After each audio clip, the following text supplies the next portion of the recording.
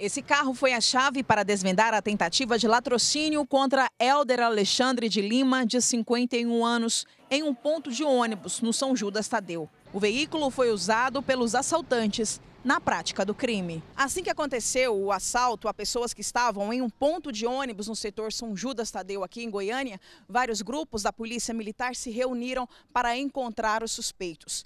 Começaram por um monitoramento para encontrar o carro e logo encontraram o veículo no setor Caiçara. Policiais da P2, os policiais disfarçados, foram até o local e ficaram fazendo monitoramento até que viram o carro chegando em uma casa. Dentro tinha um casal.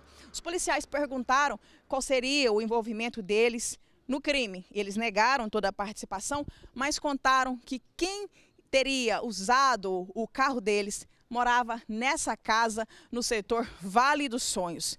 Assim que os policiais chegaram aqui, eles pediram reforço para o BOP.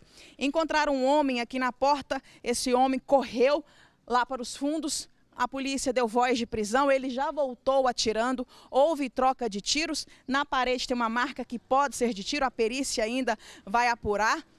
Nisso, os dois suspeitos que estavam aí dentro, o Diogo, conhecido como Gaguinho, e o Rony, conhecido como Neguinho, eles foram baleados.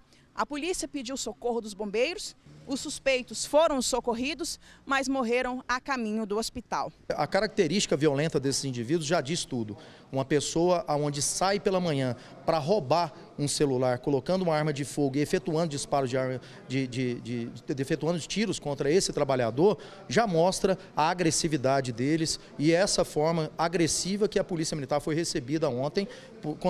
É, consequentemente, a nossa equipe, que é uma equipe preparada, que é a do, do Batalhão de Operações Especiais, revidou e graças a Deus e ao treinamento do BAOP não tivemos nenhum policial ferido e esses indivíduos foram alvejados. O assalto aconteceu na manhã da última quarta-feira, dia 15.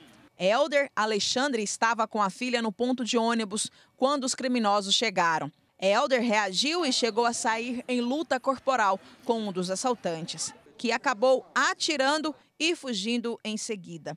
Um dos disparos atingiu a cabeça de Elder, que segue internado no UGOL. Representantes das forças policiais do estado se reuniram na sede da Segurança Pública para falar com a imprensa sobre o caso. A polícia goiana não descansa.